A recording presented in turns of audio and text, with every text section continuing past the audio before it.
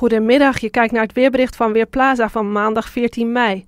Vandaag begon op veel plaatsen grijs door mist en nevel, maar die trok in de loop van de ochtend weg richting het zuidwesten en toen klaarde het bijna overal op. Behalve dan in Zeeland, want daar is de bewolking nog blijven hangen en trekt langzaam weg richting het westen. Op veel plaatsen in het land is het inmiddels bijna 25 graden, vooral in het binnenland, maar in Zeeland is het door de bewolking slechts een graad of 12, 13. Hopelijk trekt ook daar de bewolking snel weg. Vanavond is het dan overal helder, bij temperaturen tussen de 19 en 22 graden. En er staat een matige noordoostenwind die aan zee soms vrij krachtig is. Ook vannacht is het helder, de temperaturen dalen dan naar een graad of 12. Lokaal kan er wel een enkele ondiepe mistbank ontstaan. Morgen begint zonnig, maar in de loop van de dag ontstaan er wel wat meer wolken en dat is vooral in het zuiden en zuidoosten.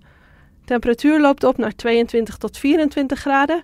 Lokaal kan het in het binnenland een zomerse 25 graden worden. Geniet maar extra van deze temperaturen, want woensdag gaat het weer veranderen. De wind draait dan namelijk naar het noorden, wordt matig tot vrij krachtig en voert daarmee koudere lucht uit over ons land. Het wordt dan 14 tot 20 graden, er is meer bewolking en er kan ook af en toe wat regen vallen. Donderdag en vrijdag worden de koelste dagen van de week, dan wordt het slechts 12 tot 16 graden. Wel is het meestal droog en de zon is ook af en toe te zien. Het goede nieuws is wel dat vanaf het weekend de temperaturen geleidelijk weer omhoog gaan naar waarden van rond 20 graden. Ik ben Hanneke Luiting van Weerplaza.